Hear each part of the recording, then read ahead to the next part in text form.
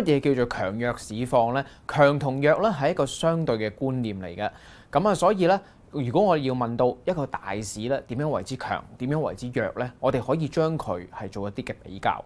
咁點樣比較呢？首先就係同佢自己嚟比較，咁同佢以往嘅走勢去比較啦。咁啊，例如啦一啲誒、從一啲佢嘅平均線啦，又或者從佢以往嘅水平。咁舉例啦，咁恒生指數喺兩萬五千點嘅時候，我諗點都係比喺三萬點嘅時候係弱噶嘛。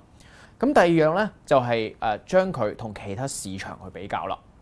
咁啊，當恒生指數由兩萬點升到去兩萬四千點嘅時候，升咗二十個 percent。咁但係與此同時咧，另一個市場，例如係誒 A 股啦，佢咧就係跌咗五個 percent。咁喺呢個情況之下咧，恒生指數或者係佢所代表嘅港股咧，其實就係跑贏咗十五個 percent 啦。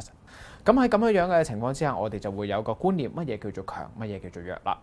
嗱，除此之外咧，亦都可以咧從資金嘅情況咧去審視一個強弱嘅。咁我哋睇下有冇啲錢係流入啦，或者係流出。如果啲錢係流出嘅話咧，咁其實係弱啦。咁流入就自然就係一個即係強嘅市況啦。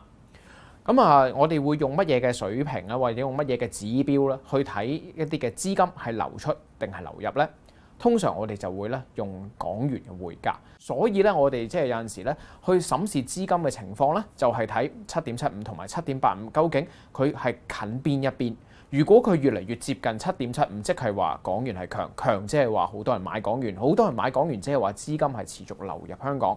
調翻轉，如果咧誒呢一個嘅誒港元匯價係近七點八五咧，咁即係話啲資金咧其實係走緊。咁呢一個嘅金管局咧，亦都要喺市場上面嚇，即係掂到七點八五啦，承接翻咧港元嘅沽盤。咁呢方面喺對港股咧有負面影響嘅，亦都係咧會係誒促成一個弱勢市況嘅一個嘅誒因素嚟㗎。咁所以啦，我哋喺誒審視強市況同埋弱市況嘅情況之下，我哋點樣去審視咧？就係第一，同佢自己做一啲嘅比較啦；第二就係同其他市場去做一啲嘅比較。咁第三咧就係審視一個資金嘅狀況啦。